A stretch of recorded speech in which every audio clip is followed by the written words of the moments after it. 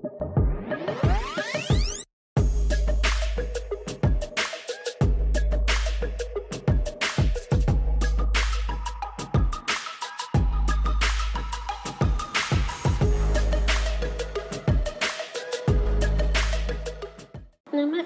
मैं रोली रस्तोगी बनारस से आप सभी के समक्ष अपनी एक कविता प्रस्तुत करने जा रही हूँ, जिसका शीर्षक है माँ।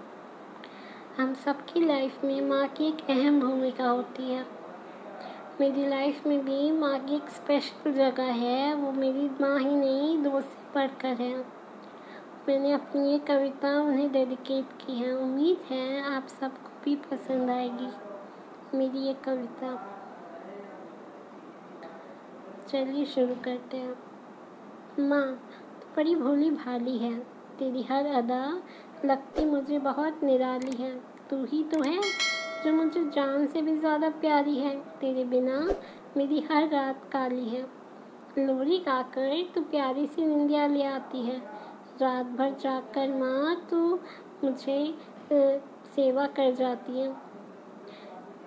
मेरी छोटी सी छींक सुनकर भी माँ, मेरी छोटी सी छींक सुनकर भी माँ तू सहम सी जाती है। रात भर चिंतन करके माँ तू अपनी नींद उड़ाती है।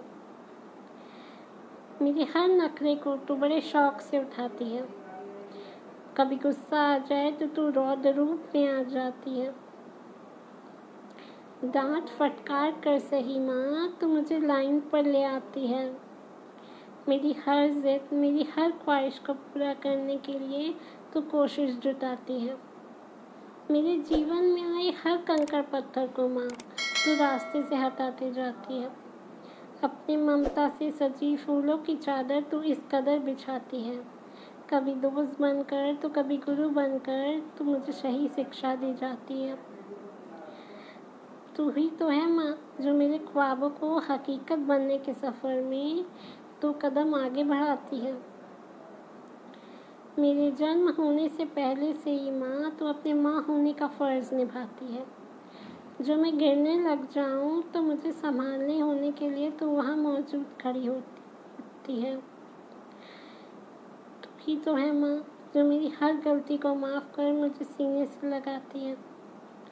जो ममता भरी आंचल में मुझे महफूज, इस दुनिया से महफूज रखती है। तू ही तो है माँ, जो मुझे दिल खोल कर प्यार लुटाती है। और भी मतलब बेशर्ते मुझे प्यार करती है। Thank you so much ma'am I love you